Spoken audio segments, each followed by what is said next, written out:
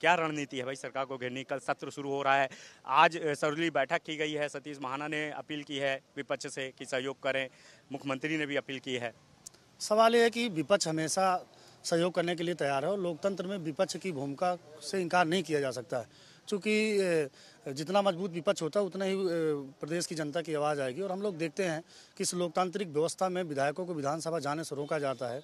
और जिस प्रकार से लगातार जो है सदन में राष्ट्रीय अध्यक्ष समाजवादी पार्टी माननीय अखिलेश यादव जी और समाजवादी पार्टी या अन्य विपक्षी पार्टियों के विधायक जब बात को रखते हैं तो सरकार उसमें टोल मटोल करने का काम करती है, जवाब नहीं देती है। और जो जनता से जुड़े मुद्दे हैं, चाहे वो किसानों की समस्या हो, बिजली की समस्या हो, या जो है स्वास्थ्य की व्यवस्था हो, कहीं ना कहीं सरकार पीछे पीछे मुड़ रही है।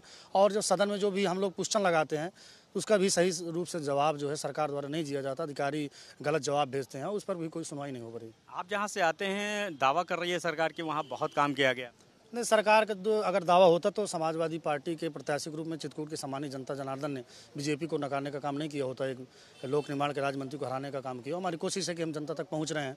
और प्रयास है कि माननीय अखिलेश यादव जी के जो दिशा निर्देश हैं और जिस भावना और जिस उससे समाज जनता ने हमको चुना है तो हम उनकी बातों को विधानसभा में रखने का काम करें। सरकार कुल मिला के फेल है और जब भी आप इनसे विकास की बात करेंगे तो ये दूसरे मुद्दों पर ध्यान भटकाने की बात करते हैं। तस्वीर यहाँ अंदर बदली हुई है। शिवपाल यादव जी भी पहुँच गए। कितनी मजबूती मिली आप लोग नहीं चाचा जी के आने से निश्चित रूप से समाजवादी पार्टी के विधायकों के साथ साथ पूरे प्रदेश की जनता में एक अच्छा मैसेज गया है और पार्टी के कार्यकर्ताओं को एक नई ऊर्जा मिल रही है। हम लोग को भी उनसे सीखने का मौका मिलेगा और उनसे बताए गए रास्ते पर हम लोग चलकर समाजवादी पार्टी और प्रदेश की स्थितियों को लेकर जनता की बेहतरी और खुशहाली के लिए विधानसभा के अंदर भी संघर्ष करने का काम करेंगे शुक्रिया। तो बिल्कुल ये विधायक हैं और इनका साफ़ कहना है कि तमाम मुद्दों को लेकर के जो है हम घेरने के लिए तैयार हैं।